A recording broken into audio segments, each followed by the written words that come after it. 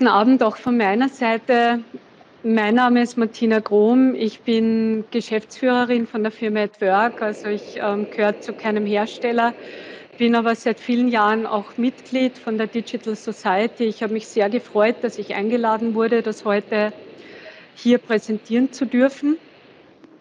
Ich hoffe auch, es hört mich jeder gut. Ansonsten bitte unterbrecht mich, dann kann ich auch natürlich auf ein anderes Headset wechseln, beziehungsweise vielleicht auch die Fragen wiederholen, die sich so ergeben. Ich habe jetzt relativ gespannt gehört, die Vorträge von Werner und ähm, auch den Vortrag über Amazon. Mein Vortrag ist ein bisschen kürzer gehalten, weil ich mich an die Vorgabe von 20 Minuten halte. Und ich hoffe, es ist auch ähm, heute für euch etwas dabei, Kurz zur Vorstellung noch von meiner Person. Also wie gesagt, ich bin in der Geschäftsführung von der Firma AdWork. Wir sind ein IT-Dienstleistungsunternehmen mit Sitz in Wien im 19. Bezirk. Ich bin aber auch gleichzeitig ähm, sehr stark verbunden mit dem Unternehmen Microsoft, nicht beruflich, also ich bin auch keine Angestellte von Microsoft, sondern ich bin in der Community rund um Microsoft sehr stark engagiert und das passt auch ganz gut zu dem Thema Cloud Computing, weil es hat eigentlich damit begonnen, dass im Jahr 2006, 2007 wir haben gesessen sind bei der Microsoft und einen Vortrag gehört haben über die neue Strategie, was da einfach passiert. Und da ist Folgendes gewesen, dass einer der Kollegen dort gesagt hat, das nächste große Ziel, auf das die Microsoft setzen wird, ist einfach Cloud Computing. Und wenn ihr in Zukunft auch modern sein wollt, dann schaut euch das bitte an. Und ich habe mich dann am Abend hingesetzt und habe mich registriert als Cloud-Partner und habe am nächsten Tag dann eine E-Mail geschrieben, so was ist jetzt, wir sind registriert, wie tun wir weiter? Und genau solche Themen möchte ich auch heute erzählen, damit es ein bisschen aus der Praxis auch kommt, was einfach Vorteile sind und Herausforderungen zum damaligen Zeitpunkt ist es dann auch passiert, dass ich mich sehr stark mit diesem Thema auseinandergesetzt habe, dass ich mir halt angeschaut habe, welche Services gibt es rund um Microsoft 365, welche Services gibt es rund um Azure. Und ich habe zur damaligen Zeit sehr, sehr viel Feedback bekommen, das nicht unbedingt immer positiv war. Also das Netteste, was ich damals gehört habe, war, Martina, du wirst damit nie Geld verdienen, weil niemals wird irgendjemand Cloud-Services verwenden. Beziehungsweise, ja, dir gehört ja die Firma, du kannst da das leisten, spiel dich halt ein bisschen herum mit diesem neumodischen Zeug und ähm, schau da ein bisschen Cloud-Services an. Und das Interessante aus der Geschichte heraus, und deswegen erzähle ich das auch ganz gern, ist, das hat mir oder das hat uns auch einen gewissen Vorteil Vorteil gebracht, weil wir einfach zu einer Zeit auf Cloud-Technologien begonnen haben zu setzen, wo noch niemand daran geglaubt hat. Und so möchte ich das eigentlich auch starten. Der Werner hatte das schon gezeigt. Was ist Cloud Computing eigentlich? Cloud Computing ist einmal etwas, was jetzt nicht ähm, etwas Spannendes, ganz Neues ist oder irgendein Hexenwerk, sondern ist tatsächlich, es sind Computing-Ressources, die einfach genutzt werden, nämlich Datenbanken, Komponenten, intelligente Funktionen, Software und so weiter, die über das Internet einfach verwendet werden. Und das Interessante an dem Ganzen, und deswegen finde ich das auch so spannend, ist, Cloud Computing ist auch etwas, was Innovation treibt. Und zwar extrem schnell und ich komme durch diese Innovation natürlich auch in einen sogenannten Evergreen-Zyklus hinein. Das heißt, für mich ein wesentlicher Punkt von Cloud Computing ist, man geht nicht mehr traditionell vor in seiner Vorgangsweise, dass man sagt, ich installiere mal ein Betriebssystem, dann warte auf das nächste Service Pack, dann warte eineinhalb Jahre auf das nächste Service Pack und dann kommt die nächste Release, sondern es ist immer wieder ein Schritt nach vor, vorne und auch immer wieder etwas Neues, auf das ich zugreifen kann. Und das bedeutet auch, und das habe ich auch gelernt von Kollegen, die einfach gesagt haben, wenn du im Cloud Computing bist, du machst keinen Rollback. Du sagst nicht, das Service Pack 1 hat nicht funktioniert in unserer Cloud, wir gehen jetzt wieder zurück auf das alte Release, sondern du versuchst auch immer das Problem, das du jetzt vielleicht gerade hast, auch wieder zu fixen. Und wenn ich mir das aber anschaue aus einer Statistik und jede Präsentation lebt ja auch davon, dass man eine Statistik hat, ist einfach etwas, das ich immer wieder erlebe und das ich vor allem auch hier in Europa sehr stark erlebe, dass sehr viele Leute zu mir sagen, ich verwende die Cloud nicht, das ist alles unsicher. Und sehr viele Personen aber einfach Cloud-Services verwenden, ohne es zu wissen jedes Android-Phone, jedes iPhone, jedes mobile Device, das ich verwende, ist derzeit mit einem, mit einem Cloud-Service-Provider äh, verbunden. Jeder speichert seine Daten in der Cloud.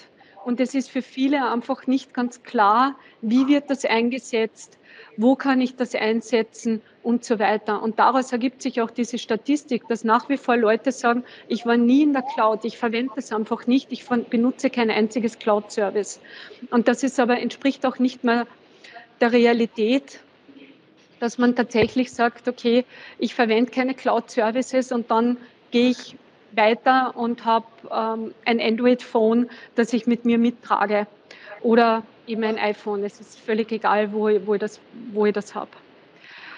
Und was ich, was ich hier dann auch einmal vorstellen möchte, sind einfach, wie Cloud-Services am Beispiel von Microsoft Services funktionieren, was so die typischen Anwendungsfälle sind. Ich möchte ein bisschen aus der Praxis erzählen, was wir auch bei Kunden einsetzen, was ich von Kunden gelernt habe rund um Cloud-Services und wie wir das einfach machen.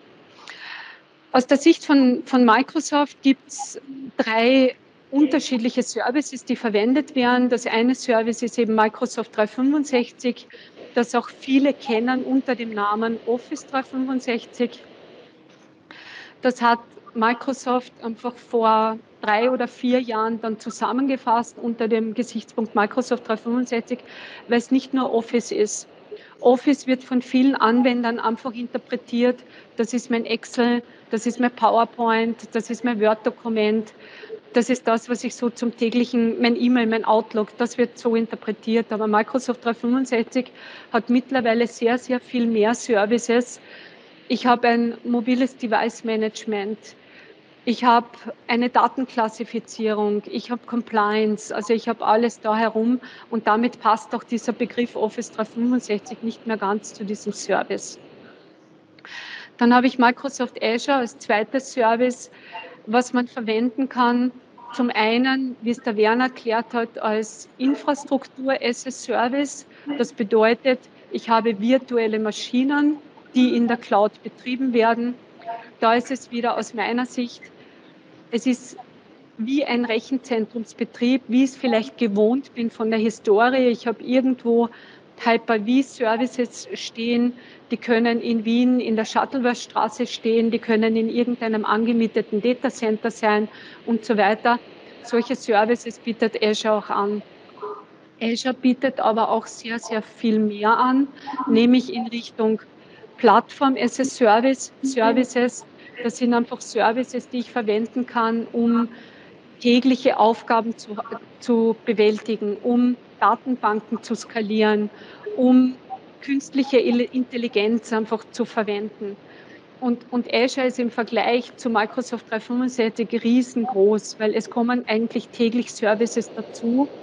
Und was auch ganz interessant ist an der Stelle ist, dass diese Services dann natürlich auch weltweit verfügbar sind.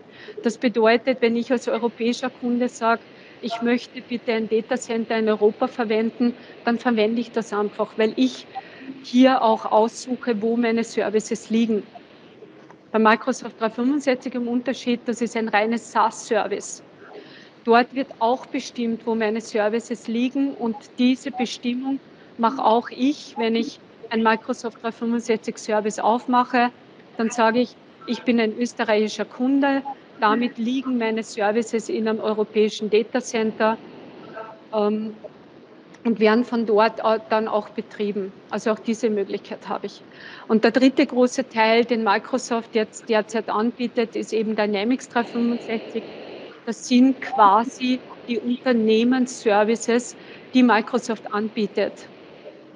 Ähm, wer früher das gekannt hat, wie äh, Microsoft Dynamics CRM hat es früher geheißen oder Navision, diese Services werden über Dynamics 365 jetzt zusammengefasst. Aber Dynamics 365 bietet auch noch andere Business Services. Zum Beispiel, ich kann damit auch so Anwendungen steuern wie meine Marketingkampagnen kann ich damit machen. Aber ich kann auch ganz super moderne Anwendungen machen. Das werde ich dann noch erzählen aus einem konkreten Beispiel, was beim Kunden von uns ähm, passiert oder gerade passiert als neue Business Opportunity. Das bedeutet, ich kann auch solche Services verwenden, um zum Beispiel remote zu unterstützen. Und das ist auch etwas, was ganz interessant ist, wohin sich diese Cloud-Services entwickeln. Wenn wir uns das jetzt einmal anschauen und ich würde jetzt einmal Microsoft 365 ähm, ein bisschen größer aufmachen, welche einzelnen Services es da gibt, da sehe ich einfach, wie diese Services auch miteinander interagieren. Das bedeutet einfach, ich habe hier natürlich ganz klassisch, wie ich schon gesagt habe, Word, Excel, PowerPoint und so weiter, was ich nach wie vor installieren kann. Aber ich habe Cloud-Services, die rein über die Cloud betrieben werden. Ein Service zum Beispiel ist heute Microsoft Teams. Das ist genau diese Präsentationsplattform, wie ich heute eingestiegen bin. Microsoft Teams wird seit März ganz viel auch an Schulen eingesetzt, weil es einfach ein Werkzeug ist, wo ich solche Dinge wie ein Remote Learning für Schüler und Lehrer überhaupt ermöglichen kann. Wo ich einfach solche Plattformen nutzen kann, um das einfach zu verwenden und einfach im täglichen Leben auch zu integrieren und einfach auch eine Lösung zu haben, mit der ich dann zusammenarbeiten kann. Und das Interessante ist an diesen Services ist, dass ich auch hier sehe, dass zum Beispiel Dinge wie eine Amazon Alexa, eine Microsoft Cortana auch wieder verknüpft werden können mit Services, die in Richtung Microsoft 365 oder in Microsoft Azure einfach kombiniert werden. Und das bedeutet für mich als Kunde, ich bin einfach jemand, der die Services nutzt, der dafür auch für die Nutzung bezahlt, aber der nicht das Problem hat, ein gesamtes Rechenzentrum inklusive Hardware zu betreiben. Mich darum zu kümmern, ist die Hardware stabil, kann ich skalieren, habe ich genügend Speicherplatz, sind meine Festplatten voll, habe ich eine Klimaanlage. Alles solche Basisdinge, die man früher, wenn man ein Rechenzentrum betrieben hat, einfach mitdenken musste. Gehe ich jetzt einfach her und das sieht man natürlich, sage ich, ah, ich möchte jetzt meine Aufgaben besser planen oder ich möchte Microsoft Teams verwenden, dann gehe ich auf eine Webseite, schließe ein Abo ab und kann das dann auch sofort nutzen. Was ich natürlich auch sehe, und das trifft jetzt ein bisschen die nächste Seite und was, was ich vor allem auch sehr stark bei unseren Kunden jetzt verfolge, ist natürlich auch das Thema Cybersecurity und man liest das täglich. Ähm, es gibt jetzt wieder einen aktuellen Finanzskandal in Österreich, wo ich einfach dann sehe, okay, was ist eigentlich das täglich Brot von einem modernen Hacker? Und das, das täglich Brot von, von einem Hacker kann zum Beispiel sein, Insider-Informationen von einem österreichischen Unternehmen abzuziehen und damit auch solche Dinge wie Insiderhandel zu erlauben. Oder dass ich zum Beispiel auch lerne, wie ein Unternehmen funktioniert. Und da gibt es etliche Beispiele, lerne, wie ein Unternehmen funktioniert, wie viel, wie die arbeiten, welche Informationen sie haben, die wert wären, weiter zu verkaufen. Oder man geht in die andere Richtung, dass man zum Beispiel sagt, okay, ich lerne jetzt als Hacker über das Unternehmen und ab irgendeinem gewissen Zeitpunkt beginne ich dann, die internen Systeme zu verschlüsseln und verlangt dann einfach Bitcoins damit das Unternehmen wieder den Entschlüsselungskey kriegt. Und das ist natürlich auch etwas, was sehr viel Angst erzeugt, weil das viele auch nicht greifen können. Die Cloud ist etwas Virtuelles, das kann ich nicht angreifen, das kann ich nicht fühlen, das kann ich nicht schmecken. Das, das merke ich einfach nicht und das kann aber mit einem Klick dann auch natürlich das Risiko sein, dass meine Daten verloren gehen, dass alle meine Kundendaten gestohlen werden und so weiter. Und das sind einfach so die täglichen Herausforderungen, die, die man jetzt eigentlich hat.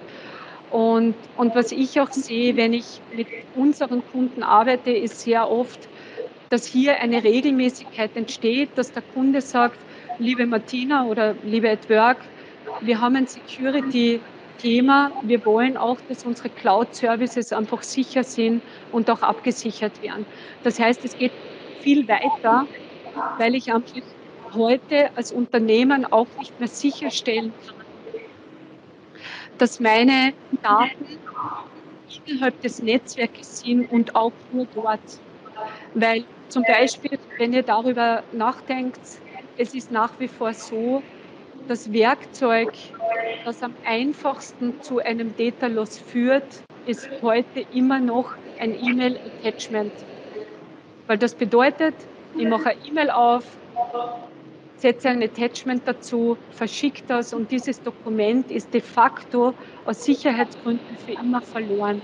Ich kann dem auch nicht mehr folgen. Und genau so, das sind eben diese modernen Herausforderungen, die viele Unternehmen haben und die man sich auch anschaut.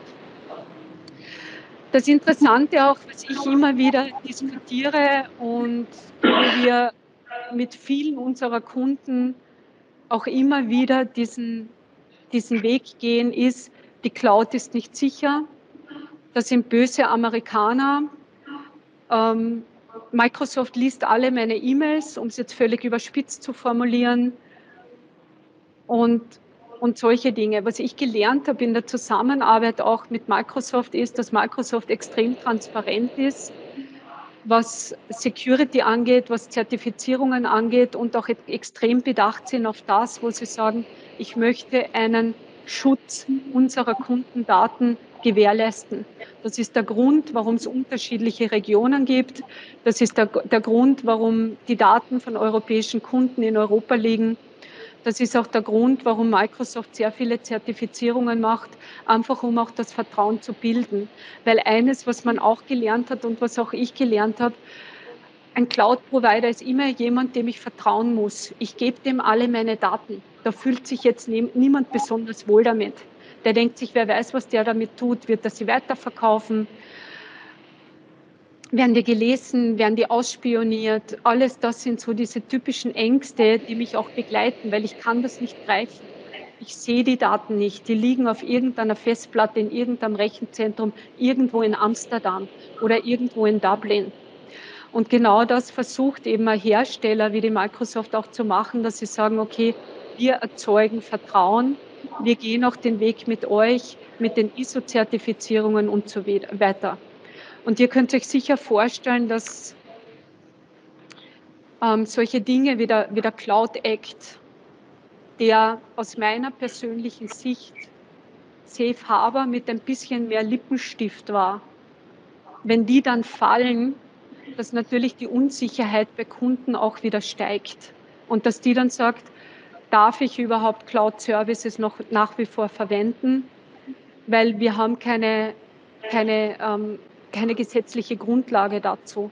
Und da ist es natürlich auch so, dass jedes Unternehmen auch gefordert ist, den Cloud-Provider auch dementsprechend zu überprüfen und auch zu sagen, darf ich das, kann ich das nutzen, bin ich sicher. Und das ist auch immer so eine Risikobewertung, die man hier macht. Gut, ich habe ja auch versprochen in meinem Titel, dass ich ein bisschen über die Vorteile rede, die aus meiner Sicht natürlich extrem gegeben sind. Und auch der, der Werner hat das schon einmal gesagt, was sind die Vorteile von Cloud Computing und was sind noch die Vorteile von Microsoft Services, die ich hier drinnen habe. Der Riesenvorteil, den ich hier habe, sind natürlich die Kosten. Ich kann jetzt nicht hergehen, so wie man es früher immer gemacht hat, dass man sagt, ich kaufe ein Office-Paket im, beim Mediamarkt. Das kostet mich jetzt 100 Euro. Damit schreibe ich jetzt meine Briefe für die nächsten 25 Jahre. Und dann kommt ein Cloud-Experte dazu und sagt, ähm, bitte mach doch Folgendes, leg dir ein Abo an, bekommst du immer die neueste Software und so weiter. Die Kosten sind insofern ein Faktor, als ich mir den Betrieb spare und aus betriebswirtschaftlicher Sicht ich zwischen CAPEX und OPEX auch unterscheiden muss.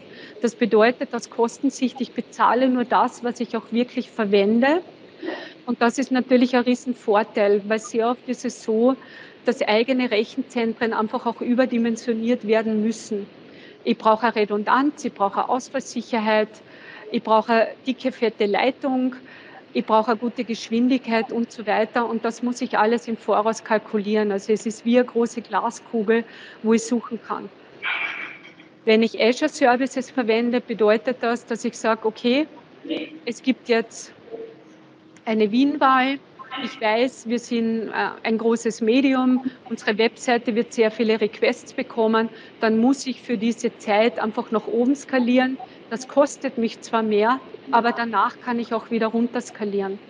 Und das bedeutet natürlich aus einem betriebswirtschaftlichen Gesichtspunkt, dass ich da einen riesen Vorteil habe. Weiterer Vorteil ist natürlich die Geschwindigkeit. Wenn ich, ich sage, ähm, die Internetprovider heute, und wir sind, und das haben wir durch Covid auch gelernt, wir sind in Österreich sehr gut gerüstet, was eigentlich Internet-Connectivity angeht.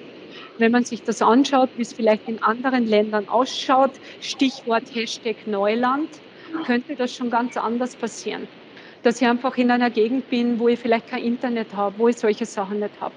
Das bedeutet aber auch für mich als Konsument, ich muss einmal schauen, dass ich zum nächstmöglichen Internet-Connectivity-Punkt komme, wo auch Microsoft dann ihre Kabel und ihr Netzwerk betreibt.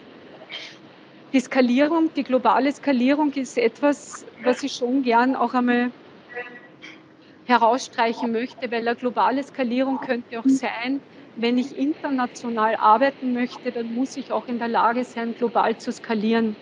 Das bedeutet auch, ich muss auch in der Lage sein, auch in einem entfernten Land, China, Amerika oder sonst wo, auch meine Dienste anzubieten in einer vertretbaren Geschwindigkeit, weil das ist etwas, was der Konsument auch gewohnt ist oder, oder was der User gewohnt ist.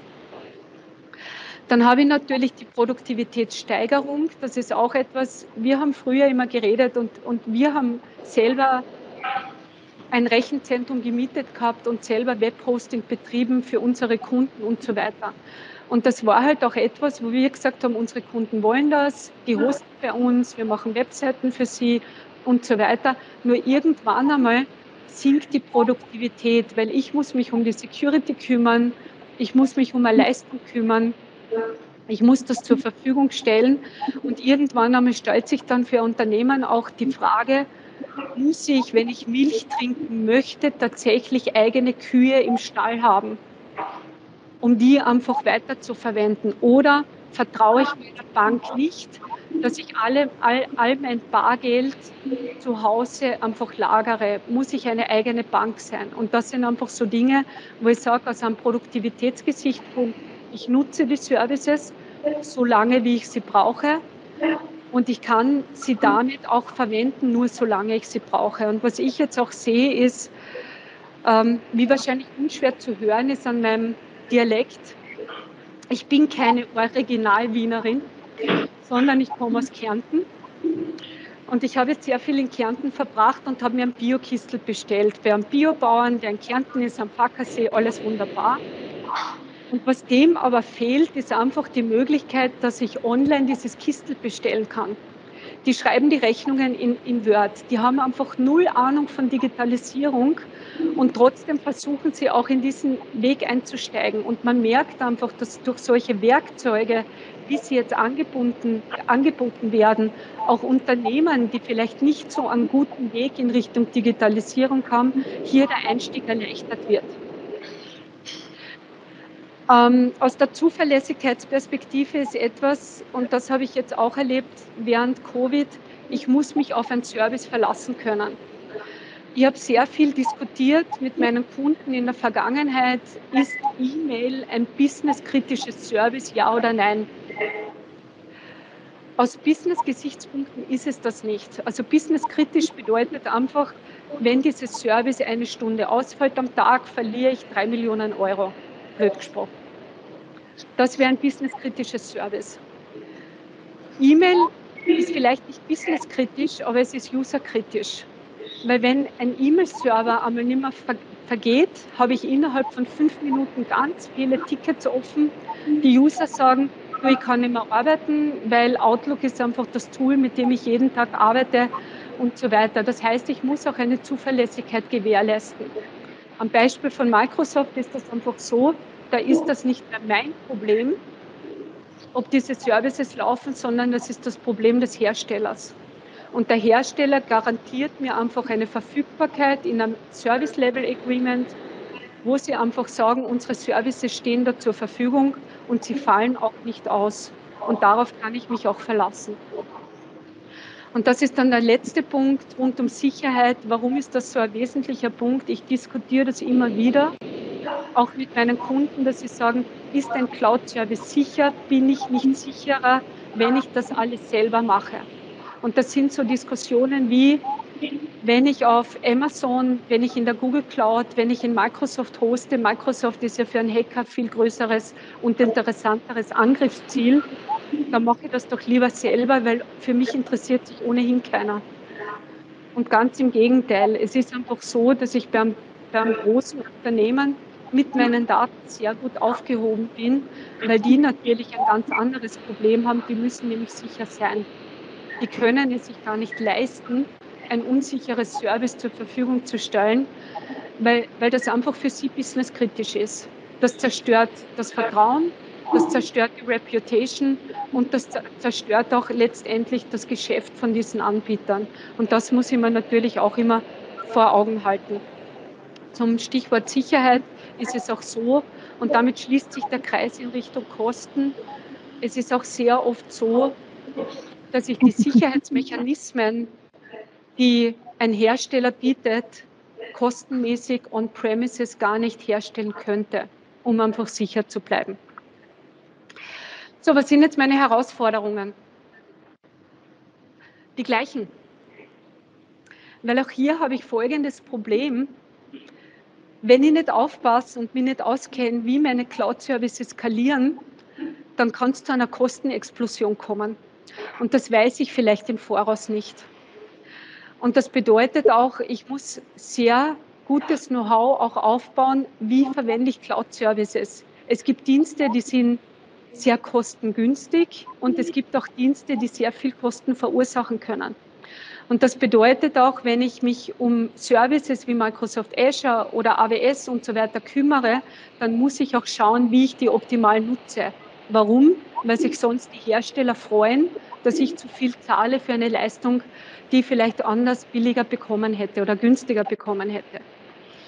Genauso Geschwindigkeit hatte ich schon angesprochen, auch bei den Vorteilen ist einfach, wie schnell kann ich in diese Services einsteigen und wie komme ich dort rein. Und genauso natürlich Leistung, Zuverlässigkeit und Sicherheit bedeutet einfach, ist das Cloud-Service sicher? Ist es zuverlässig? Fällt das vielleicht aus? Was tue ich? Gibt es einen Exit-Plan? Gibt es einen Exit-Plan, wenn ich aus irgendwelchen Gründen gezwungen werde, aus dem Cloud-Service wieder auszusteigen? Wie mache ich das dann? Habe ich eine Exit-Strategie? Ist das Cloud-Service sicher? Was ist, wenn meine gesetzlichen Grundlagen wegfallen und ich tatsächlich das Cloud-Service wechseln muss? Das sind einfach diese Herausforderungen, die man immer wieder besprechen muss und die auch mit Kunden, die ihnen auch klar werden muss. Also ich gebe euch jetzt einmal ein aktuelles Beispiel vor der Datenschutzgrundverordnung in Österreich waren solche Dinge wie Datenklassifizierung gar kein Thema. Nirgends in Europa. Dieses Bewusstsein ist erst geschaffen worden mit dem, der DSGVO, wo man einfach gesagt hat, Leute, so geht's nicht. Ihr könnt nicht alle eure Kundendaten für immer und ewig behalten in irgendwelchen Dateien für ewig. Die werden dann gestohlen und so weiter. Und erst damit schafft man auch dieses Bewusstsein. Und das ist eben auch eine dieser modernen Herausforderungen, wo ich sage, ich muss mich darum kümmern. Ich muss halt die Möglichkeit haben, wenn die Martina Grom bei einem Unternehmen in Österreich anfragt und sagt, welche Daten habt ihr über mich, dass ich diesem Auskunftsbegehren auch Rechnung tragen kann und dass ich solche Dinge auch beantworten kann. Das ist etwas, das wollte ich zeigen, weil das aus meiner Sicht ganz gut passt zu den letzten Monaten, die wir da hatten. Und das passt auch ein bisschen genau zu dem Bild, was ich eingangs erzählt habe, wie es mir eigentlich gegangen ist, wo ich mit Cloud Services angefangen habe.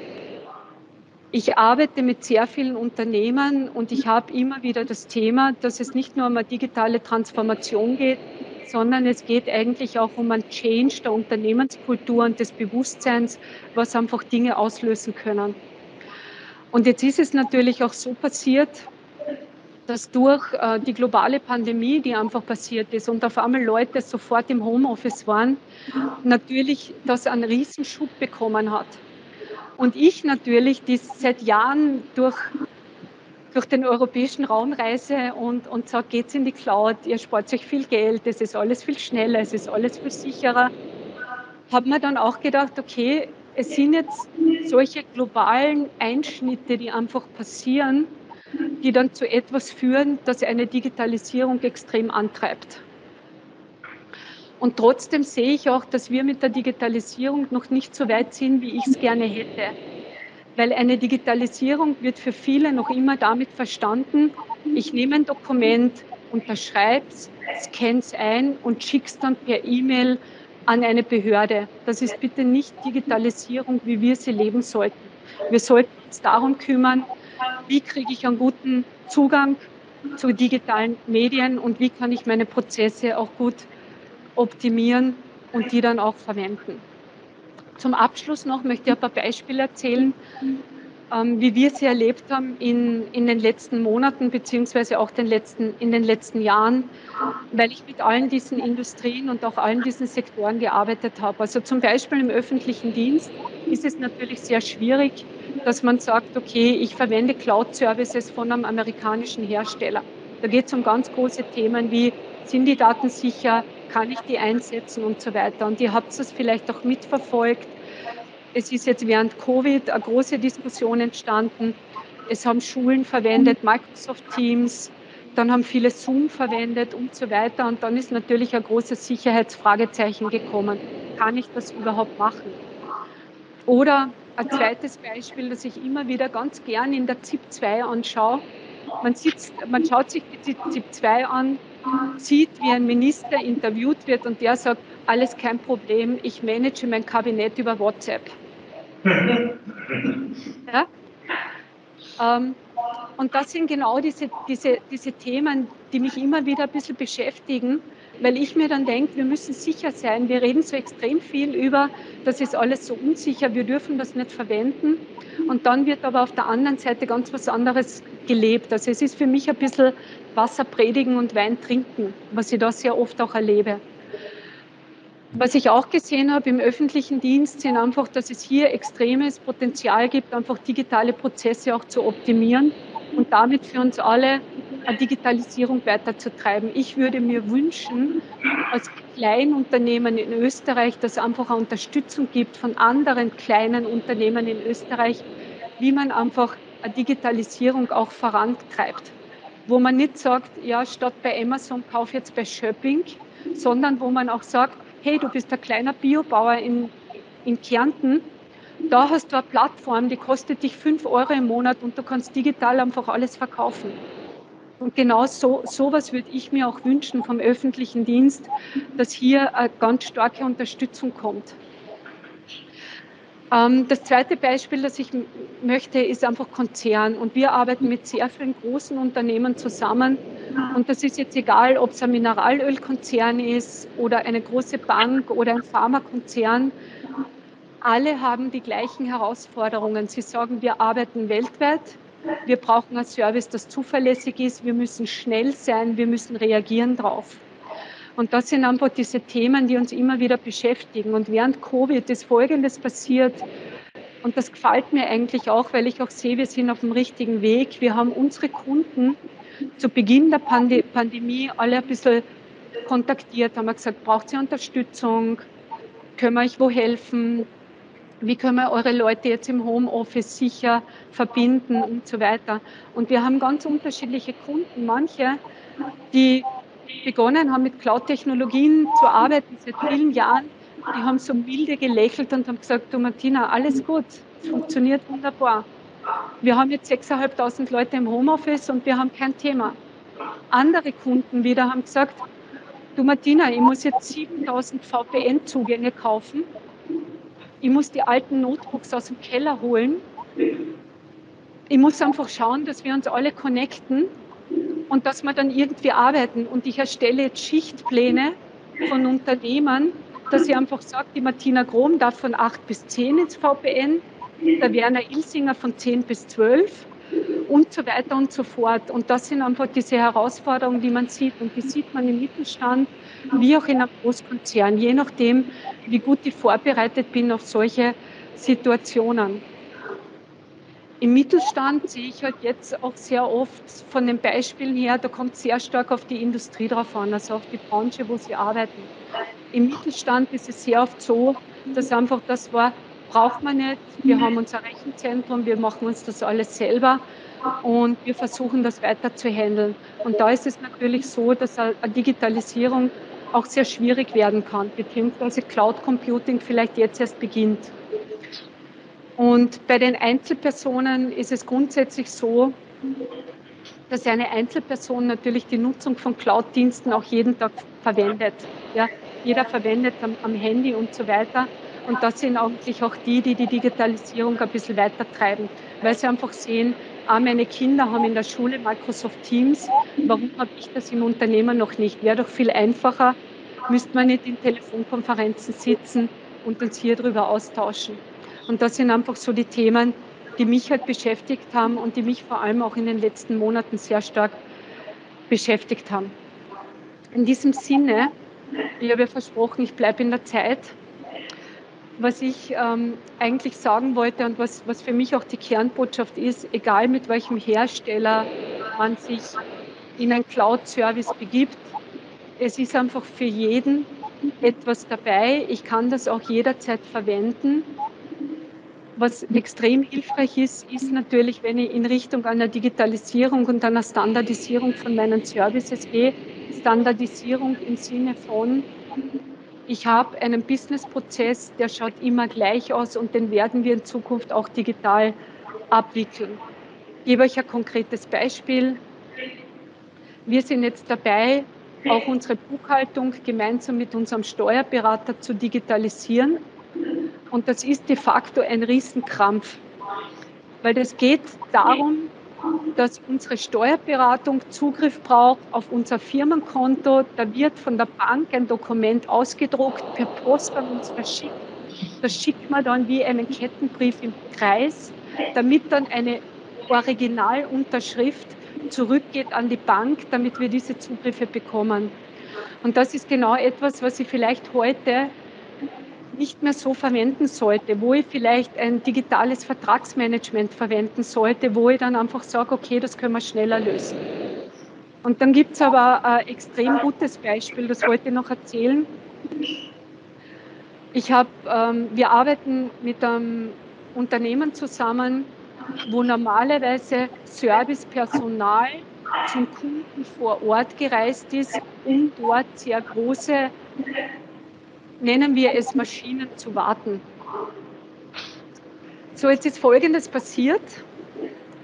Ähm, wir, hat, wir haben eine globale Pandemie und es gibt einfach Reisebeschränkungen. Das heißt, die Service Engineers können nicht mehr vor Ort fahren. Das heißt, die Wartung ist unmöglich. Was dieser Kunde gemacht hat, der ist einfach hergegangen, hat ähm, ein, ein sogenanntes Remote Assist Service genutzt wo ein Techniker beim Kunden entweder mit einem Handy oder mit einer HoloLens die Maschinen anschaut und sagt, so schaut das aus, das sehe ich.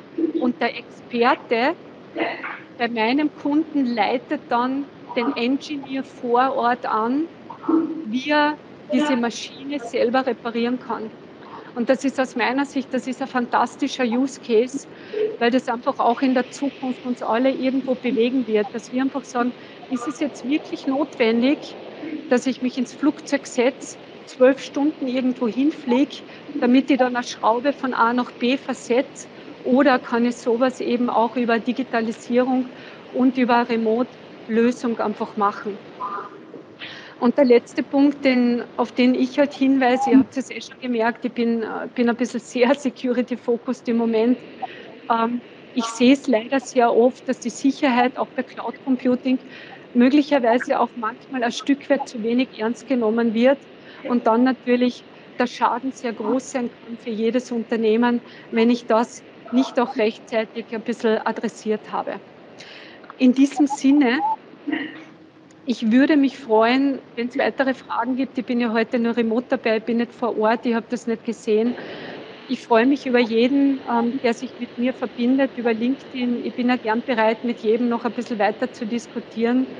Beziehungsweise, wenn ihr Fragen habt, einfach eine E-Mail schreiben und würde mich freuen, wenn ich vielleicht drei Fragen heute bekomme, wenn es die anderen äh, nicht bekommen haben und dass wir vielleicht noch die letzte halbe Stunde ein bisschen nutzen, um über das Thema auch um ein bisschen Meinungen zu hören.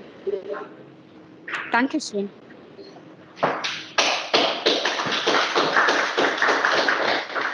Ich werde jetzt ein bisschen näher zum Mikrofon gehen und ich hoffe, dass wir die jetzt online besser hören. Äh, danke, Martina, für den äh, sehr tollen Vortrag. Äh, ich glaube auch, dass sehr viele gar nicht wissen, wo sie überall Cloud verwenden. Und auch das Sicherheitsthema war sehr gut, weil ich glaube, auch das wird uns noch länger beschäftigen müssen. Äh, und jetzt wieder meine Frage ins Publikum. Gibt es eine Frage? Gibt es eine Online-Frage? Ja, da gibt es eine Frage vom Alois Schrems. Äh, die Frage ist jetzt, ob die Martina das hört. Äh, ich versuche einmal. Meine Frage richtet sich äh, äh, in die Richtung an den Vortragenden, was wie weit äh, glaubt ihr, dass äh, Cloud Computing das unser Verhalten in der Art, wie wir leben und in der Art, wie wir arbeiten, verändert und was die typischen Beispiele sind, weil, ähm, soweit ich verstanden habe, hat uns die Cloud ja schon äh, erwischt, sozusagen an Ecken und Enden. Und wo geht da die Reise hin, dass man sagen kann, dass es wirklich, äh, das wird äh, zu einer Verhaltensveränderung führen? außer dass wir keinen Serverraum mehr im Büro haben.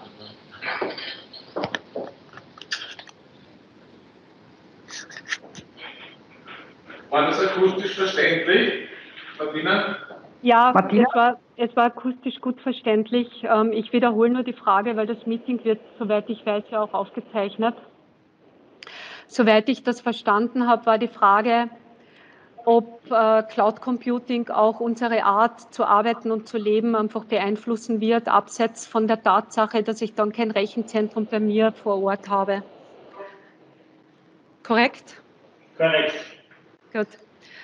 Ähm, aus meiner Sicht ja, und das hat vielleicht das letzte Beispiel, das ich erzählt habe, gebracht mit diesem Remote Assist Service. Ich kann natürlich über solche Services wie eine Internettechnologie möglicherweise auch notwendige Geschäftsreisen oder wie sie früher vielleicht notwendig waren, auch in Zukunft vermeiden. Ich kann also auch damit zum Beispiel sagen, nicht nur aus Unternehmenssicht, sondern vielleicht auch aus ökologischer Sicht, brauche ich jede Geschäftsreise, muss ich überall hinfahren. Und versteht es mich nicht falsch, ich wäre auch irrsinnig gern jetzt im ersten Bezirk persönlich vor Ort. Aber es ist natürlich auch etwas, wo man dann sagt, ist es notwendig, ähm, dass ich dann auch vielleicht reise, wenn ich vielleicht gerade in Kärnten bin oder wenn ich gerade irgendwo anders bin. Und ich glaube, dass genau solche Einflüsse uns als Gesellschaft in Zukunft auch ganz stark begleiten werden, weil wir, wir verlassen uns auch darauf, oder ich gebe jetzt ein Beispiel der Elektromobilität. Ich verlasse mich ja darauf, dass wenn ich ein Auto habe, das ähm, elektrisch fahrt, dass da ein Navigationssystem drinnen ist, dass da mein Spotify-Service drinnen ist und so weiter. Das heißt, unser Leben hat sich ja aktuell schon verändert, weil wir sind einfach diese ganzen Services gewohnt. Wer setzt sich noch in ein, in, in ein Auto mit einem Wien-Plan und versucht, dorthin zu finden, wo er hin muss? Und das ist, glaube ich, etwas, was uns einfach extrem begleitet und was auch alles durch Cloud-Services oder durch Internettechnologien uns ganz gut weitergebracht haben.